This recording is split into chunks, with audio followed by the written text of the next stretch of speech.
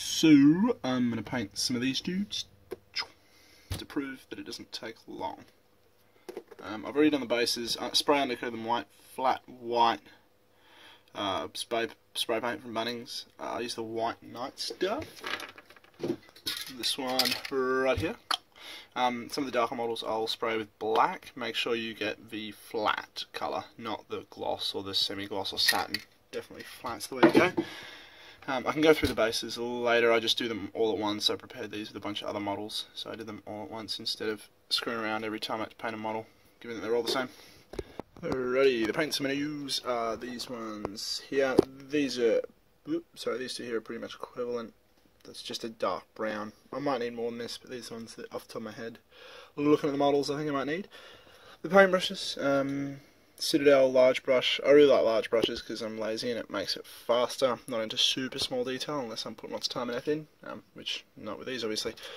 An alternative paintbrush I really rate are the Back to Basics range. They're really useful because they're oh they're a high-end wargaming brush, but they also separate and then screw back inside themselves.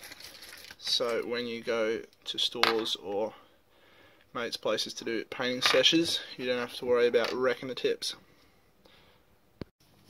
Alrighty, um, wash is the way to go. Um, I'm going to start with the lighter areas that are larger, and then if I screw it up, I can fix it up on the other areas. Uh, let's see if you can see my palette. Maybe, yep, somewhere over here. Oh. um, so this is the green, whatever it was, Castellan Green. Uh, a fair bit of that and then I water it down to make kind of like a really thick wash.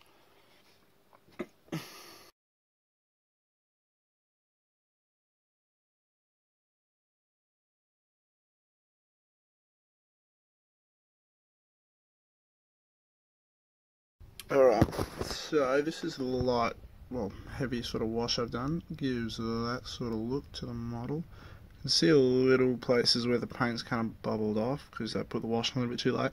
I'll just go back and touch that up as I'm doing the other ones, but again, not a whole lot of attention paid to not getting it everywhere. Not super fast. I've just the idea is if you start with the light colours, the darker colours will hide the mistakes on the lighter colours as you go. I might have to touch up on the chin there, just because the lighter face is going to show that up. Um, so I guess just be a bit more careful there. But the darker jackets and stuff and cloaks are going to hide the rest of it, so that's not a huge issue.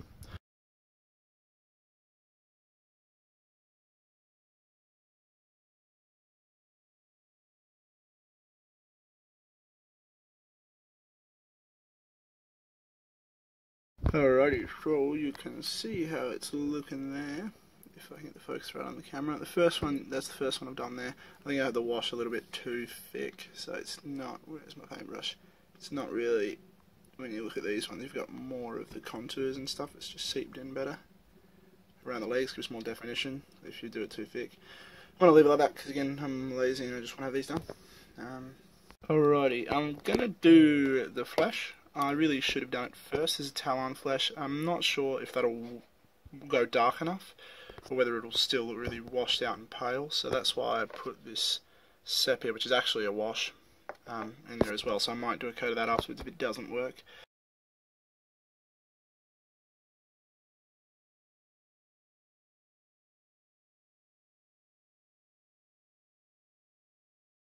Alrighty, so these little guys are done. Oop, some focus there. I'm pretty happy with how dark that is. They do look a bit pale, but oh, well, happy enough with that. You can start to see like the crevices in there, especially on the pants there, the washes, that effect that has. It's probably a better shot. Um, so now when we start doing the darker colours, you've got to be, be a bit more careful because obviously you can't overflow onto the lighter colours. Um, so I might go down a brush, which is for me my back to basics one, um, and I'm going to use a dark browny black. Keep in mind that when you wash, obviously the colours become a lot lighter. So typically you want to start with a darker colour. So obviously that's the darker brown that I'm going to go with. And you're looking at the green there, it's quite dark. But it does come out quite light on the figure. Obviously you can darken that up, as we said, with multiple coats or just mix it a bit thicker as a wash. Um, I have got one over the guns, again, that doesn't matter because I'm going to do the guns last. I just like pulling those out in just a flat black, I don't even wash those, I just like them black. Um, it kind of contrasts the miniature, the block, thick black colour, and that's what they are in some of the movies. Maybe pick out a couple of the details on the gun with a bit of silver, um, but we'll do the brown for now.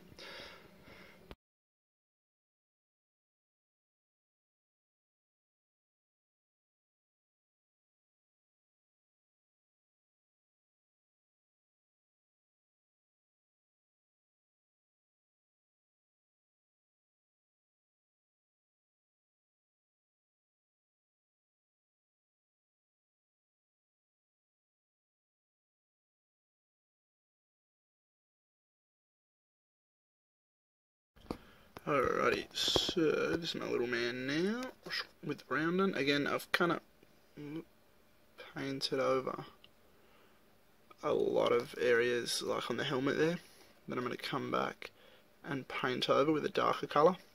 So I think I'm pretty much done with the washes now. So it's kind of a bit of a hack job, like the joins, I haven't really kept the lines 100% in kind of see. Sorry, I cloak there but I'm pretty happy with that. Um, so now, I think the important bit now is getting nice sharp lines on the block colours, because that will make the model still look, I don't know, sharp and refined.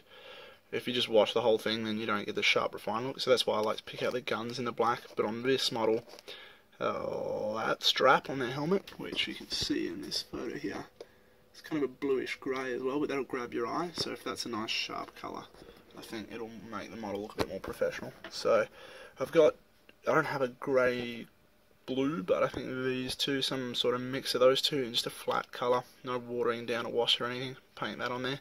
And then while I'm at it, I'm just going to do a black flat coat on the guns. And we're nearly there.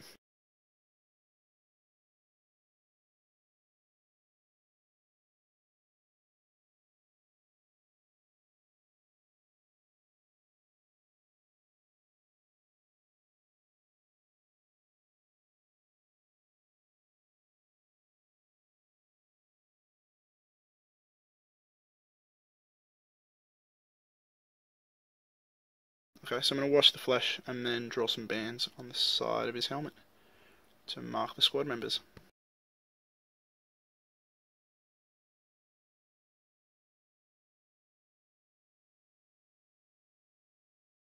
A bit more defined with the wash, um, but all in all, it's about 20 minutes work for three painted dudes. Taking out the time I spent talking about it. Um, I might do just a grey, I've got a silver paint, just a dry brush, I'm sure you guys know what a dry brush is, just over the end of the gun and maybe the scope, just to give the gun, because it is quite large, so I think that flat's maybe too big, a flat colour, um, and that'll break it up a bit, but just obviously being careful not to paint anywhere else, just like across the end of the brush, sorry, across the end of the gun, and then just down the scope with a really light grey dry brush. Um, so dry brush obviously is where you wipe the brush until there's not much paint left and as you drag it across the dark surface it'll just stick to the stuff that's sticking up the highest um, so it's kind of like a really lazy man's way of highlighting but also very fast.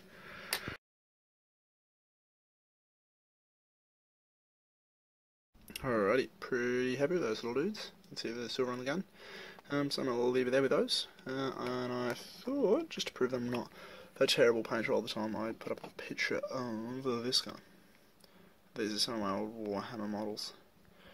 Um, so the difference is obviously this model here has probably got about six to ten hours in it, maybe. Um, whereas obviously this is 20 minutes for three. So it's all a matter of how much time you've got and what have you. But for me, it's I'd rather have painted stuff than not at all. Alrighty guys, thanks for watching. And there's a bit of a final shot of them because I didn't get a particularly good one on the last one. Hopefully that focus can get right. Yeah, and um, I'll, if you uh, think it's worthwhile, I'll do a few more. Kia